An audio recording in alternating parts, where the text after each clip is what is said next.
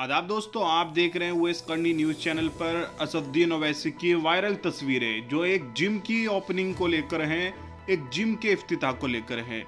ये तस्वीरें इतनी खास क्यों हैं? क्योंकि असदुद्दीन ओवैसी की वीडियो, अक्सुद्दीन ओवैसी की खबरें आए दिन जिम को लेकर, कि वो जिम में थे और वहाँ पर एक्सरसाइज कर रहे हैं, आती रहती हैं। आप लोग भी खूब सोशल मीडिया पर देखते होंगे। गोदी मीडिया के दलाल चैनल भी उसको बड़े शौक से दिखाते हैं। असुद्दीन अवैसी का जिम और एक्सरसाइज को लेकर एक बयान भी है। अपने उस बयान के अंदर क्या कुछ उन्होंने कहा? मुस्लिम नौजवान और उम्मत मुस्लिमा के वो नौजवान जिनके पेट बढ़े हुए हैं, उनको लेकर असुद्दीन अवैसी का क्या अहम पैगाम है? वो बयान शायद आपने नहीं सुना होगा। तो आइए वो बयान आपको सुनवाता हूँ, सुने और उसके बाद ज़रूर शेयर करें। नौजवानों, मैं तुमसे अपील कर रहा हूँ, एक्सरसाइज करो। अपनी सेहत को अच्छी रखो। ये नहीं कि तुम कोई बॉडी बिल्डर बन जाओ, मगर इतनी तो सेहत तुम्हारी होना कि अगर तुमको कोई एक पंच मारा तो तुम गिरना नहीं, तुम उठ के खड़े हो जाना।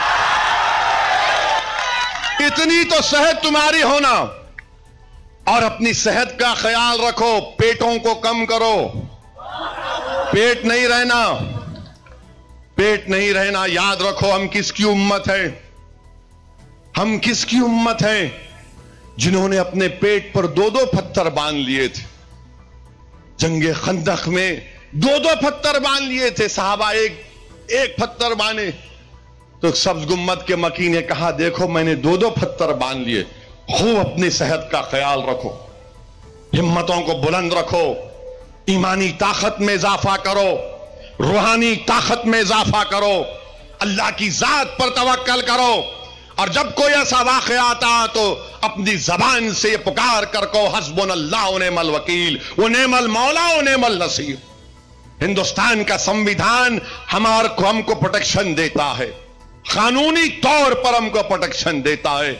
नौजवानों, मैं आपसे अपील कर रहा हूँ, बुज़ुर्गों, मैं आपसे गुजारिश कर रहा हूँ, अपने बच्चे और बच्चियों को कॉन्स्टिट्यूशन लॉयर बनाओ।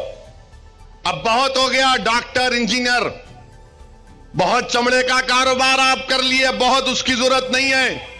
अब कॉन्स्टिट्यूशन लॉयर बनाओ, वकील बनाओ जिसको संविधान मालूम, जिसको कॉन्स्टिट्यूशन मालूम।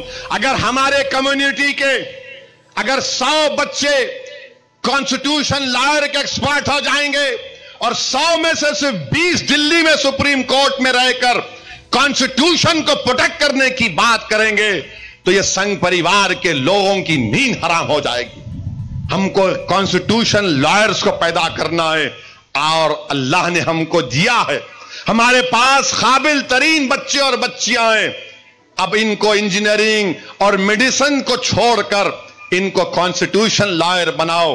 अपनी क़यादत को मज़बूत करो मुतहिद रहो, और याद रखो, अल्लाह के रसूल सल्लल्लाहु अलैहि वसल्लम के हदीस है कि अल्लाह हमेशा बड़ी जमात का साथ देता ये उलमा कराम ने कहा, मैंने नहीं कहा।